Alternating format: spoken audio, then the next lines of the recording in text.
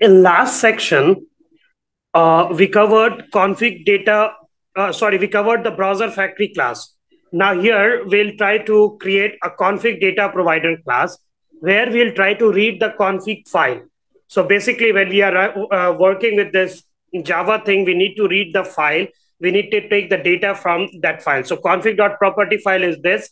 We need to take these two data, browser and test URL data. So just to read these data, I'll create a class and name this class as config data provider. So config data provider is the name of class. Now in this config data provider, first I'll try to read this file and then I'll pass this file to uh, like uh, once the file is loaded, then I'll try to get the data from that file. Now let's see how to read this file or how to copy this file and uh, just get the data. So this is the link where you'll find the code.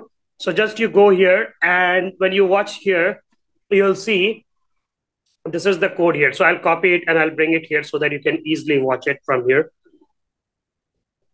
Now this one is for get browser and this one is for URL. Yeah, I copy this and put it here.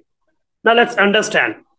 So properties is basically a class in Java that helps to read the properties file. And this config data provider is, it's basically data provider. Okay, it's a, a constructor. And you see in constructor itself, I pass the file here. Now, the reason behind why I'm passing the file in constructor is every time when I call this config data provider, this file will be loaded by default. Now, first, in just first I read the path of the configuration file. So this is the configuration file. And here from here, I'm reading the config properties.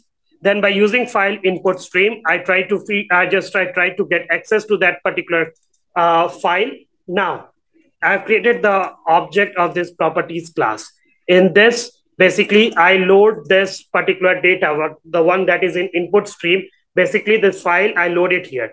Now, once the file is loaded, that means this value is stored in this pro object. So now this pro object contains this data. So basically the details of that file is stored in this pro object. Now, and here I have used try and catch because it's uh, like when we are using these files, there is chances of throwing exception if in case the file is not available or file is not able to input. So that's why I put this part in try and catch section so that if any error occurs, that can be handled easily. Now, once the file is loaded to this properties object that is pro, then I'll create two methods, one for get browser and other one for the URL. Now these two will help to read the data here. So right now I have only two data, one browser and the next one is the URL. So what I will do, I'll read the data from here. So just I create a method with return type as string and here by using pro.get property. Get property helps you to get data from that particular section. Get property helps to read the data and the data is read uh, is returned in form of string. So I say pro.get property and browser. So this will give me the browser name and pro.get property will uh, test URL will give me the URL name.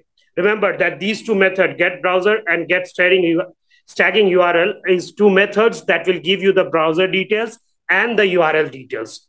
That's how we read this config data provider class. And it's very important to write all the files in form of Java that's written here. And this is how we read the file that basically the properties file.